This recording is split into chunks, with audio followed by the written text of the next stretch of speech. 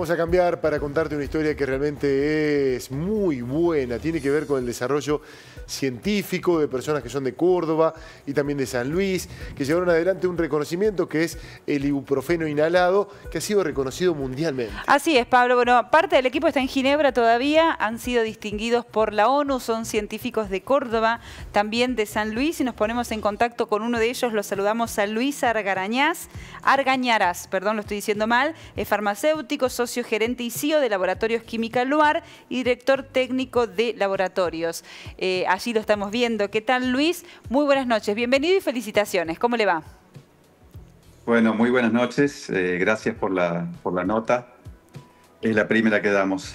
Ah, qué orgullo que tenemos entonces. Bueno, eh, contanos, Luis, ¿cómo viene este desarrollo? ¿Qué impacto tiene? Miren, para nosotros esto ha sido muy importante. Eh, estamos en Ginebra, acá son las 2 de la mañana. La premiación es mañana. Eh, estamos dentro de las 25 empresas, pero podemos quedar dentro de las 7 empresas eh, ganadoras de esta premiación. es el fruto de mucho tiempo de, de trabajo y, una, y, una, y un medicamento que va a ser muy importante, es muy disruptivo. Ah, perdón, le escucho un retorno, no sé si a ustedes les molesta eso. No, no, no, nosotros lo estamos recibiendo muy bien, Luis. Perfecto. Eh, este es un medicamento muy disruptivo, es un antiinflamatorio pulmonar que nosotros empezamos a investigar hace varios años y, y el COVID nos permitió hacer una experiencia muy importante tratamos más de 25.000 pacientes y, pudimos ver el efecto en distintas patologías. Eh, la experiencia de COVID nos permitió inclusive mejorar la, formulación y con mucha ciencia básica atrás que se hizo en CEPROCOR eh, y con la Universidad de, Cuyo, eh, hoy tenemos un producto que es óptimo para tratar eh, distintas patologías pulmonares. ¿Cómo cuáles, Luis? El producto se encuentra aprobado en la provincia de Córdoba para COVID. Bien. Y estamos eh, trabajando en, otras, en otras patologías para poder ampliar, la, ampliar la indicación. Bien. Le preguntaba a Pablo como cuáles, qué tipo de patologías eh, son las que eh, se pueden tratar con este ibuprofeno inhalado. Miren, todas las patologías pulmonares implican eh, procesos, de, procesos inflamatorios.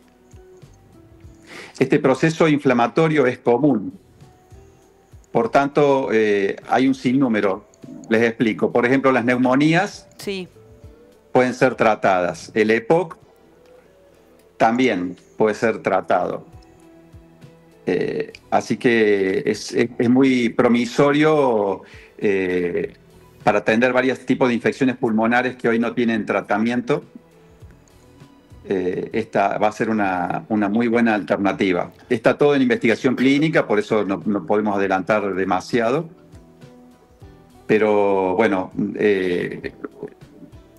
el COVID nos permitió ver el efecto en 25.000 pacientes y los reportes que tenemos nosotros nos muestran la, utilidad eh, en, muchas patologías. EPOC, por ejemplo, el 30% de los pacientes que tratamos eran EPOC. Claro. Luis. Entonces vimos un efecto benéfico y lo estamos, estamos, haciendo en este momento en investigación clínica de esto. Luis, ¿y, cómo se conforma justamente esta estructura de científicos? Los decías, de Córdoba, de San Luis que han tenido este logro que luce tan impactante? Bueno, aclaro que San Luis no tiene nada que ver, eh, es un error en la, en la gacetilla, me parece. Esto se inició eh, conjuntamente de entre, entre el CEPROCOR y Química Luar. El CEPROCOR tiene científicos de CONICET. Y inicialmente se, se pensó en buscar una solución para tratar pacientes con fibrosis quística. Eh, no llegamos a tratar pacientes con fibrosis quística, pero sí tratamos pacientes con EPOC severo y con fibrosis pulmonar, esto en el 2018 y 2019. esto nos dio la experiencia para, justamente pensar que para COVID esto iba a ser una solución. Teníamos eh, también una publicación que demostraba el efecto bactericida y ensayamos el efecto viricida. Por tanto, teníamos un producto que resolvía toda la, toda la problemática de COVID. Eh, posteriormente a al, final de la pandemia empezamos a trabajar con la Universidad de Cuyo, con, con la doctora Claudia Castro, que es una especialista en estrés oxidativo, que es eh, el mecanismo que nosotros logramos revertir. Y esto, esto realmente es un hallazgo y es muy importante porque este mecanismo es poco conocido, poco difundido. Y eh, nuestro medicamento logra revertir y esto no lo hace ningún otro producto en la actualidad, logra revertir el estrés oxidativo. O sea, revierte la hiperinflamación eh, pulmonar que, eh, que producen infecciones o las obstrucciones como el, como el EPOC. Bien, bueno, nos llena de orgullo, Luis, eh, transmitirle también a, tus compañeros de la delegación, saber que están ahí, que han sido elegidos, porque eran 700 los candidatos, están ahí los científicos cordobeses a punto de recibir una distinción de la ONU que premia a quienes trabajan por mejorarle la vida a la gente, así que nos encanta y te agradecemos muchísimo que hayas estado esta noche con nosotros. El anticipo. Y la mejor de las suertes, ojalá le traigamos suerte, mucha suerte.